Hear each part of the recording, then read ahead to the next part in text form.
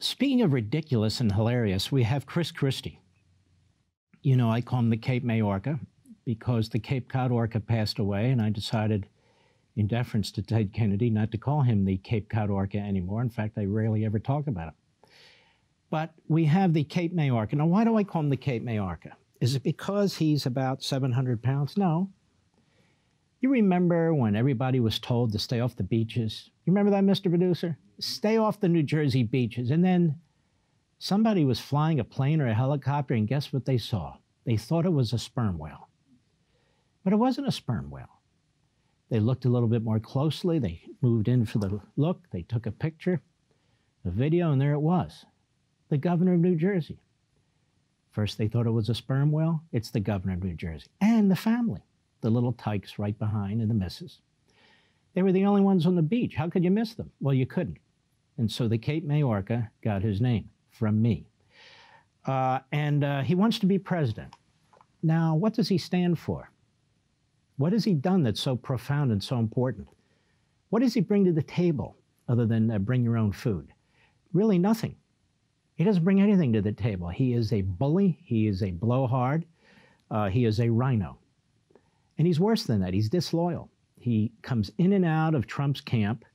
Then he writes a book in which he talks about conversations he had with people privately. Um, and he's using this book as a foundation to project his ideology. And what is his ideology? Well, nobody's exactly sure. The, the purpose of the book, of course, is to position himself on a new Republican Party, that the Republican Party should follow his lead uh, and he's been all over the media. Here's an example. This is MSLSD. Go. If you are an author about to publish a book, I highly recommend hiring the people doing publicity for Chris Christie. The former New Jersey governor got an incredible amount of media attention over the past few weeks, speaking to nearly every network about his new book on, quote, rescuing the Republican Party. Chris Christie is calling on the GOP to get its act together. I love the, the, title of your book, Chris Christie, Republican Rescue. It's a great book. You can tell that you actually wrote it. It's plain language. It's not lawyer language, and mm-hmm, hopefully people mm-hmm. who read it will understand it. All I'm saying in this book is we have to stop looking backwards. And that's the point of the book. That's the message of the book. The whole center part of the book is about all these conspiracy theories, QAnon mm-hmm, and mm-hmm. pizza. All right, stop a second. Most Republicans don't know what the hell QAnon is. I don't know what the hell QAnon is. All I do is keep hearing about the pizza, this, that, who that. Nobody knows what that is. He, he grabs these fringe things off the internet or somebody said something or other, and then he projects it onto the Republican Party. In other words, he creates a foil. And Chris Christie to the rescue. Go ahead. Birtherism and the election stuff. There's no truth to any of this stuff. And that's what the book tries to start to do. Put the past behind us. We need to get back to thinking about how you win. Stop Republican on. Oh, wait a minute. Didn't Donald Trump win? 2016, and didn't he get over 74 million votes in his run in 2020? And didn't Christie get blown out like the first candidate running in the Republican primary in New Hampshire? He saved all his resources and all his campaigning for New Hampshire, and I think he got like three rabbits to vote for him, but that's about it. Go ahead. If we want to be a winning party again, we got to look forwards and go after Joe Biden.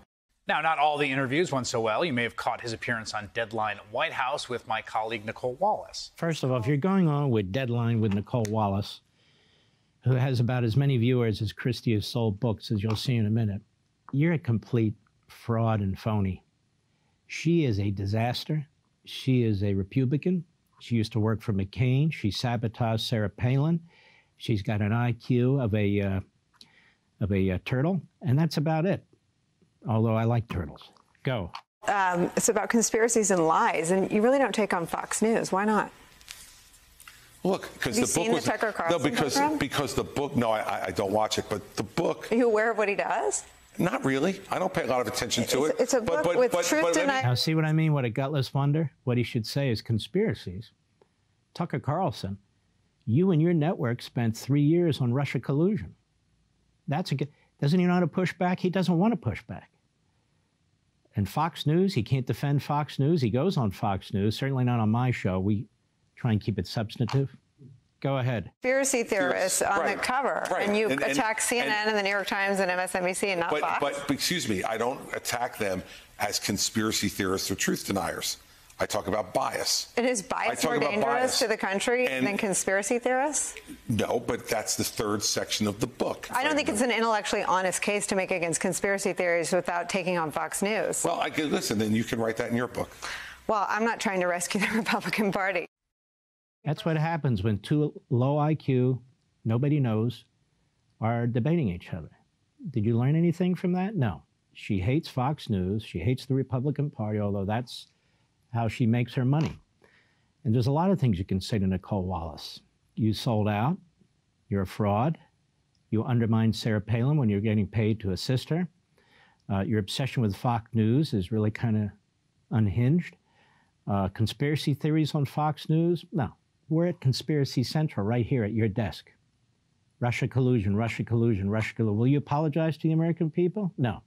So why doesn't Christie say these things? Because he doesn't want to. He wants to be loved by the media. And what Christie doesn't understand is he'll never be loved by the media. Go. Press is good press, and Chris Christie was getting all of it.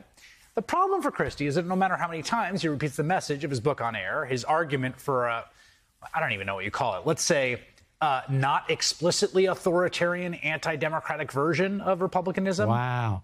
What a news network this is, MSLSD. And where did this freak come from? Who the hell is this guy? I don't even know. What do they call him? Oh, this is Chris Hayes. Honestly, I don't watch Chris Hayes. Wow, another no ratings nobody. Where did they drag him in from? Do you know? What's his background? Well, it must be very, very extensive, like Rachel Maddow's, maybe Al Sharpton's. I don't know. Want to see more Mark Levin? Go to levintv.com and subscribe now.